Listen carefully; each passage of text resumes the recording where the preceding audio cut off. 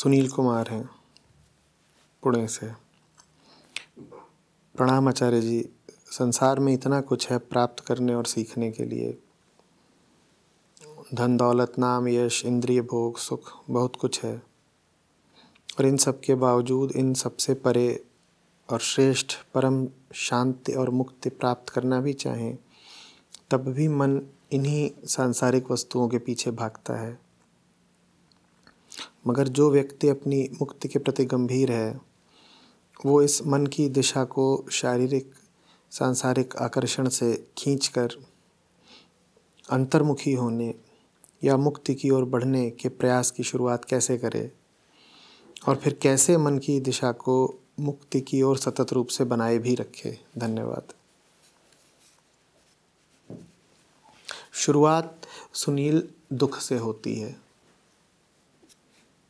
तुम पूछ रहे हो, कैसे मन को संसार से मोड़कर मुक्ति की ओर लगाया जाए और फिर कैसे उसकी दिशा को मुक्ति की तरफ़ ही रखा जाए?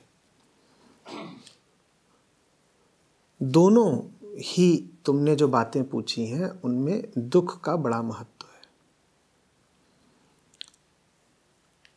शरीर का संसार से लिप्त रहना संसार की ओर ही भागते रहना, संसार से ही पहचान बनाए रखना, ये तो तय है। ये पूर्व नियोजित है। बच्चा पैदा होता है, उसे क्या पता मुक्ति इत्यादि। पर उसे पालना पता है, उसे दूध पता है, उसे मलमूत्र पता है, उसे ध्वनिया पता है। उसे दृश्य पता है। अर्थात उसे जो कुछ पता है, वो सब संसार मात्र है, ठीक? तो बच्चे का मन किधर को लगेगा? शुरू से ही? संसार की ओर, शरीर की ओर, यही तो दुनिया है, और क्या? हुँ? इधर को जाएगा ही जाएगा बच्चा, इधर को जाएगा ही जाएगा जीव। फिर मुक्ति की ओर कैसे मुड़े? अगर संसार की ओर ही जाना पूर्व निर्धारित है तो फिर मुक्ति की ओर कैसे मुड़े? मुक्ति की ओर मोड़ता है तुमको तुम्हारा दुख। और दुख मिलेगा ही मिलेगा। क्योंकि जिस वास्ते तुम दुनिया की ओर जाते हो, दुनिया तुमको वो कभी दे ही नहीं सकती। दुनिया की ओर जाओगे सुख के लिए, सुख मिलेगा छटाक भर और दुख मिलेगा दो पसेरी। ले लो सुख। सुख थोड़ा ज़्यादा भी मिल गया तो भी सुख के मिट जाने की आशंका हमेशा लगी रहेगी। अभी कौन सा सुख है जो अपने साथ आशंका लेकर के आया है? ये कौन सा सुख है जो इतनी सुरक्षा माँगता है कि सुख तभी तक रहेगा जब तक तुम सुख की देखभाल करो, मेंटेनेंस करो, सुरक्षा करो। और जिस दिन तुमने सुख की देखभाल नहीं की, तुम पाओगे वो सुख? गायब हो गया। तो इस सुख में तो बड़ा दुख छुपा हुआ है। हुँ? ये दुख सामने आने लगते हैं और तब तुम कहते हो कि नहीं भैया, ये जो संसार के साथ मेरा नाता है, इस नाते से मुक्ति चाहिए, इस नाते में मुझे कुछ नहीं मिल रहा। जब तुम अपनी वास्तविक इच्छा के प्रति ज़रा सजग, ज़रा संवेदनशील होते हो, तब तुम मुक्ति की ओर मुड़ते हो। फिर तुमने पूछा है कि क्या है जो मुझे मुक्ति की तरफ़ लगाए ही रखे? एक दफ़े मुड़ गए मुक्ति की ओर। पर हम तो यू टर्न लेना भी खूब जानते हैं।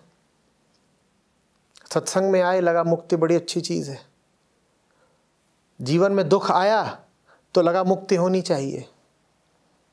लेकिन फिर दुख के बाद थोड़ा सुख भी आ गया तो फिर मुक्ति इत्यादि भूल गए। सत्संग खत्म हो गया, मुक्ति इत्यादि भूल गए। तो तुम पूछ रहे हो कि मुक्ति की चेष्टा सतत कैसे रहे? वो सतत ऐसे ही रहेगी कि तुम भूलते रहो। जितनी बार भूलोगे, उतनी बार पड़ेगा। जीवन इस मामले में बड़ा इंसाफ पसंद है। जितनी बार तुमने मुक्ति को भूला।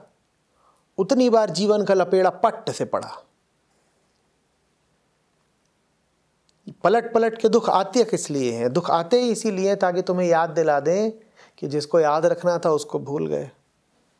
जिसको भुला देना था, उसको सर पे बैठाए हुए हो।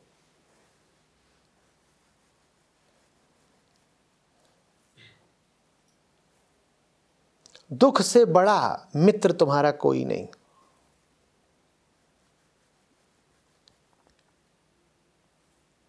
भला हो कि तुम में दुख के प्रति संवेदनशीलता बढ़े। तुम जान पाओ कि आम आदमी, तुम, मैं सभी कितने दुख में जीते हैं।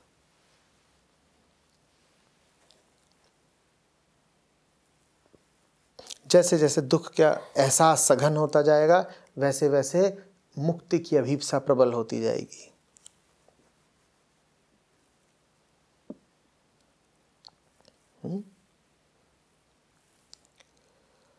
बेमानी मत करना।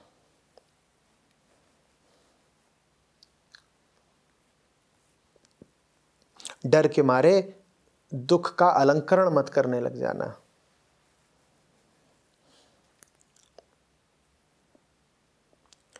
दुख तो जीवन यूँ ही देता है तो दुख हुआ सस्ता।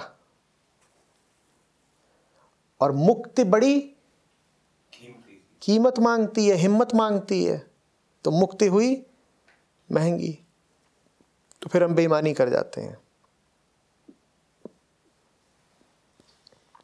जैसे कि कोई चीज़ अगर बहुत महँगी लगे तो हम कह दें कि हमें चाहिए ही नहीं।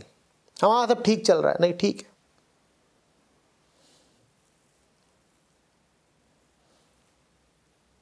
ठीक चल रहा है। सब ठीक चल रहा है क्योंकि जो चीज़ वास्तव में सब ठीक कर देगी, वो तुमको बहुत महँगी लग रही है। तुम दाम नहीं देना चाहते। अधिकांश लोग अध्यात्म की ओर यही कहकर नहीं आते कि हमें ज़रूरत क्या है। ना हमें कोई डर है, ना हमें कोई दुख है। हम क्यों आए अध्यात्म की ओर? डर भी है, दुख भी है, बेईमानी कर रहे हैं, क्योंकि कीमत अदा नहीं करना चाहते। और डरते हैं। मुक्त हिम्मत मांगती है ना। अध्यात्म बहुत हिम्मतवर लोगों का ही काम है। डरपोक आदमी तो ऐसे ही रहेगा। थोड़ा पास, थोड़ा दूर, कभी अंदर, कभी बाहर। आदर्श कुमार है नीमच, मध्य प्रदेश से। प्रणाम आचार्य जी। मैंने जब से जीवन के असली या मुख्य उद्देश्य को जाना है, तब से मैं खुद को इस पथ पर लाने की सोच रहा हूँ, पर मेरी मूलभूत आवश्यकताओं के पीछे तीस साल निकल गए। अब मैं इस राह पर चलने में कोई विलंब नहीं करना चाहता। कृपया मार्ग दिखाएँ।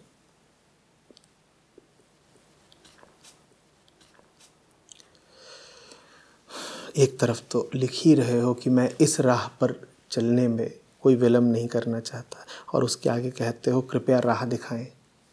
राह दिख रही है तभी तो कह रहे हो कि इस राह पर चलने में विलंब नहीं करना चाहते।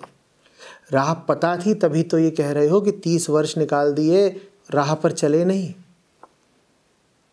कहीं ऐसा तो नहीं कि जैसे तीस वर्ष निकाल दिए वैसे ही अभी पाँच, सात, दस बरस और निकालने का इरादा हो। और इसीलिए जो प्रत्यक्ष रहा हो, उसकी अनदेखी करके अनजाने बनकर मुझसे ही कह रहे हो कि राह दिखाइए। राह तो सामने है। राह कौन सी है? राह वही है जिसके बारे में तुम कह रहे हो कि तीस राह उस पर चले नहीं। कौन सी राह है? वही राह जिस पर तीस साल चले नहीं। जिस पर तीस साल चले नहीं, उसी राह पर चल दो। क्या है राह?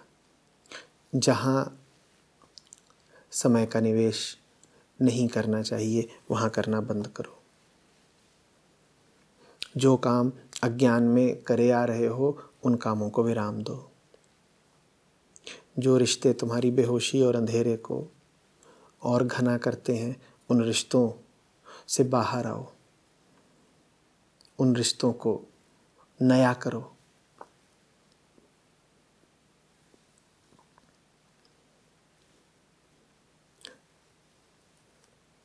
धन का, जीवन का, ऊर्जा का जो हिस्सा तुम अपनी अवनति की तरफ़ लगाते हो, उसको रोको यही रहा है हुँ? हम्म? और ये राह तुमको पता है क्योंकि तुम भली भांति जानते हो कि तुम्हारे जीवन में दुख कहाँ है जहाँ कहीं तुम्हें दुख है संशय है, भय है। जहाँ कहीं तुम्हारे जीवन में पचासों तरह के उपद्रव हैं।